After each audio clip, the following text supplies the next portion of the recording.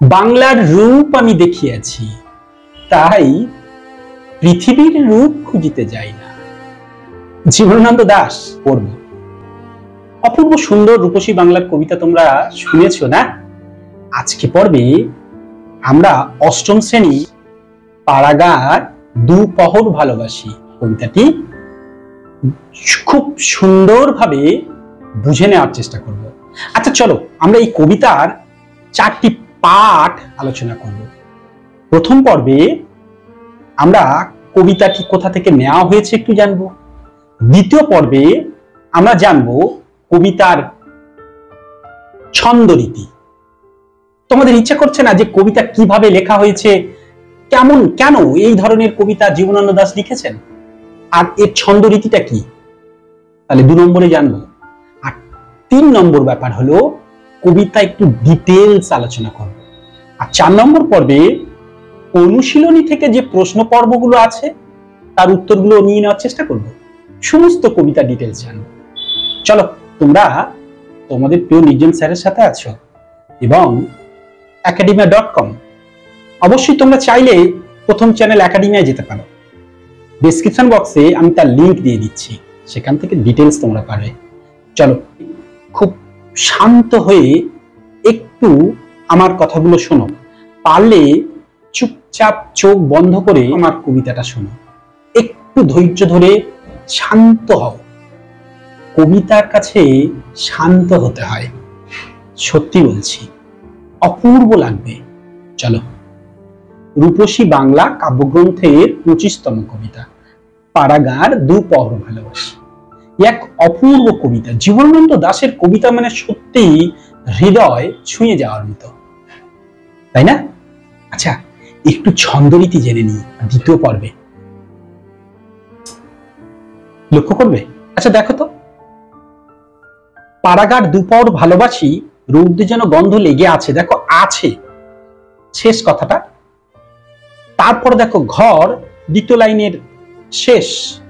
তারপর প্রান্তর তিন নম্বর লাইনে, চতুর্থ লাইনে কাছে। একটু ভেবে বলো তো। আছে প্রথম লাইনের সাথে চতুর্থ লাইন চতুর্থ লাইন কাছের মিল। আর দ্বিতীয়, তৃতীয় লাইন মিল আছে, ঘর, প্রান্তর।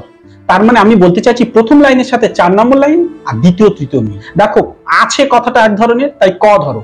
আর ঘর অন্য একটা ধরনের শব্দ, তাই তাকে আমরা কি ধরবো জানো? খ ধরবো তা ওই ঘরেরই মতো প্রান্তর শব্দটা আবার ইউজ হয়েছে, তাই ওটাকেও খ ভাববো। আর চার নম্বর লাইনে আবার দেখো কাছে, অর্থাৎ প্রথম লাইন আছের মতো করি, অর্থাৎ ক এর মতো। তার মানে চারটে লাইন পরপর যদি সাজাই, ক ঠিক চার নম্বর লাইনের মতো। আর গ, ঘ, অর্থাৎ দুই আর তিন নম্বর লাইনে সেই দুটো এক্সাক্ট ক্ষয়ের, অর্থাৎ নতুন একটা ছন্দরীতি তাই আমরা এই ছন্দরীতিটাকে বলতে পারি ক, খ খ, ক। ইংরেজিতে বলে এ বিবি এ। ঠিক এই ছন্দে পরের চারটে লাইন আছে, দেখো। লক্ষ্য করো। আছে, তারপর আবার দুটো লাইন মিল। আর চতুর্থ, গিয়ে দেখো, আছে, ঘাসে। এটা নরম, লঘু অন্তমিল অর্থাৎ শিখিয়া আছে ঘাসে। মিল কিন্তু, তাহলে এটাও সেই ক, খ খ, ক। ইংরেজিতে এ বিবি এ। তাহলে ছন্দরীতি কি হলো? প্রথম, মন দিয়ে শোনো। প্রথম আটটা লাইন থাকে। আটটা লাইনের রুলস কি হলো তাহলে? ইংরেজি থেকে যদি বলি, এ বিবি এ এ বিবি এ। অর্থাৎ ক, খ খ, ক ক, খ খ, ক। অর্থাৎ ক এর মতো চার নম্বর মানে একের মতো চার। ক ক, এক আর চার। আর দুই আর তিন, খ খ, একই ধরনের। তাই আমি ওভাবে সৃষ্টি করলাম।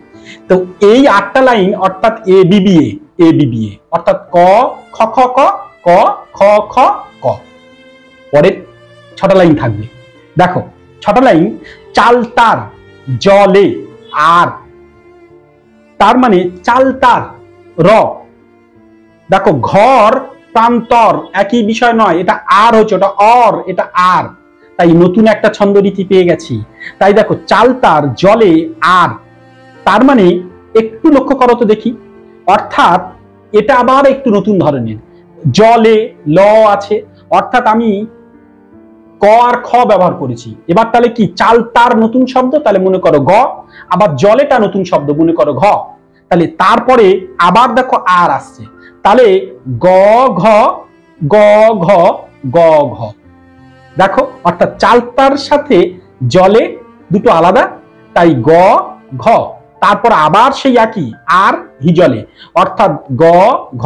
অর্থাৎ গ, ঘ গ ঘ গ, ঘ। ইংরেজি থেকে বলতে গেলে এ বিবিএ বিবিএ বলেছি, এ আর বি হয়ে গেছে। তাহলে সিডি সিডি সিডি অর্থাৎ কি? এ বিবিএ এ বিবিএ পরের ছটা লাইন সিডি সিডি সিডি এইগুলোকে কি বলে জানো? সনেট বলে। অন্তমিল নিয়মগুলো এই যে চোদ্দটা করে লাইন থাকবে এবং অন্তমিলে সনেট বলে। অর্থাৎ পেট্রার্ক সৃষ্টি করেছেন ইতালিয়ান কবি। পেট্রার্কের রুলস অনুযায়ী এটা সম্পূর্ণ ওনার মতো করেই আঙ্গিকে লেখা, এটাকে বলে সনেট রীতি।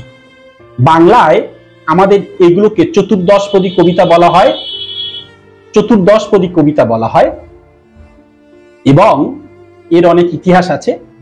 কিন্তু যে কথাটা বলব, সেটা কি জানো? সেটা হলো, এই প্রথম আট লাইনকে বলে অষ্টক,